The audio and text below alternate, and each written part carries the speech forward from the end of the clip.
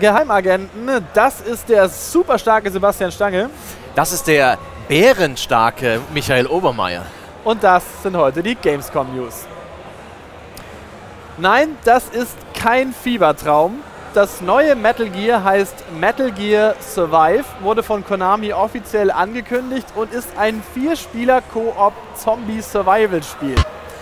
Storymäßig knüpft das an an die Ereignisse von Metal Gear Solid Ground Zeroes, als geht und diese Motherbase explodiert nicht einfach, nein, sie wird natürlich durch einen Dimensionsriss in ein alternatives Universum gezogen, wo jetzt ehemalige Motherbase-Angestellte zu viert gegen Zombie-Horden ausharren müssen. Zombie-Horden, die so einen komischen Splitter im Kopf haben, um sich so irgendwie wieder einen Weg in die Heimat zusammenzubauen. Das ist das erste Metal Gear-Spiel von Konami ohne Mitwirken von Serienerfinder Hideo Kojima.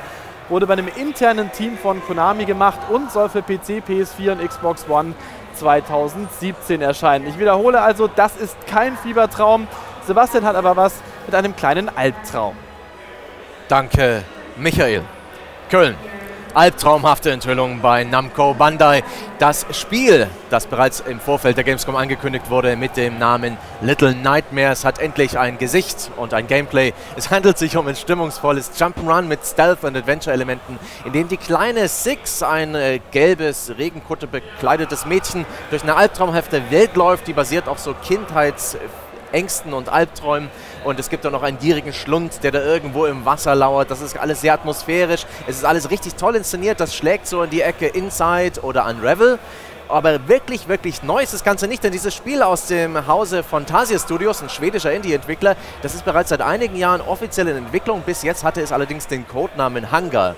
Allerdings heißt es jetzt Little Nightmares und wird erscheinen 2017 für PC, PS4 und Xbox One. Damit zurück zu Michael. Danke, Sebastian. Es gibt Neuigkeiten für The Crew, denn das Online-Rennspiel bekommt eine zweite große Erweiterung, die heißt Calling All Units und bringt so ein bisschen Need for Speed Flair ins Spiel, denn es gibt jetzt Räuber und Gendarmen, also Polizisten und Raser, die man verkörpern kann. Und das bringt natürlich neue Gameplay-Elemente, denn jetzt brechen überall in den USA natürlich Verfolgungsjagden zwischen den beiden Fraktionen aus. Man kann das Ganze auch in zwölf neuen Story-Missionen erleben. Es gibt unzählige neue Tuning-Teile, die man bekommen kann. Und außerdem wird, ungeachtet dessen, ob man Calling All Units kauft oder nicht, der Level Cap für alle Spieler auf Stufe 60 angehoben. Erscheinen soll Calling All Units zusammen mit einer Complete Edition von äh, The Crew Ende November 2016. Zurück zu Sebastian. Danke, Michael. Köln, Gamescom.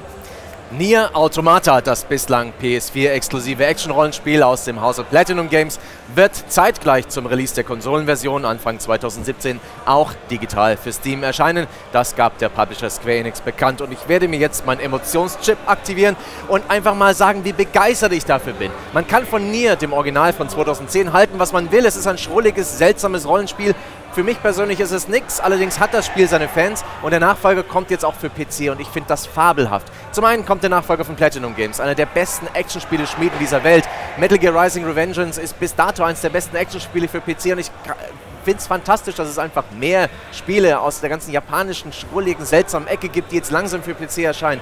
Früher war es so, dass die PC in Japan nie eine Rolle gespielt haben. Japan-Spiele waren stets so ein Import-Hobby von Konsolenspielern.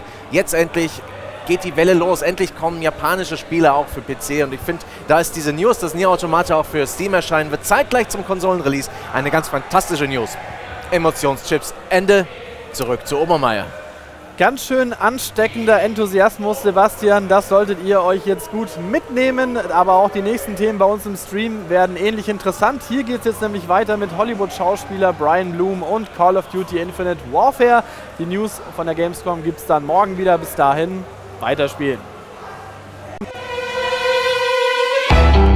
Musik